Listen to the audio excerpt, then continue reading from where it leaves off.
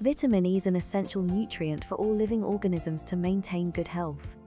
It is a fat soluble antioxidant that protects the body from oxidative damage caused by harmful free radicals. Vitamin E is also essential for healthy skin, hair, and eyes.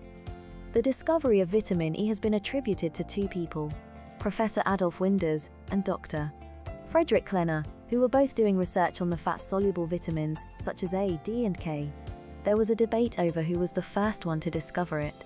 Winzels discovered it in 1922, while Klenner found proof for its existence in 1933.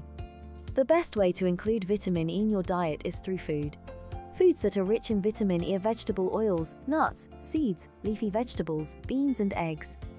Some of the most common functions of vitamin E are as antioxidant, and it is also commonly used for protection against heart disease.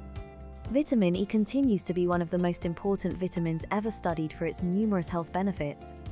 Summing up, vitamin E is a fat soluble vitamin that is found in different forms and foods. It has antioxidant properties and helps to protect the body's cells from oxidative damage. It's important to talk to your doctor or other professional before beginning any sort of supplementation or treatments. Feel free to contact us if you want us to give you the contact information of professionals who work with our network.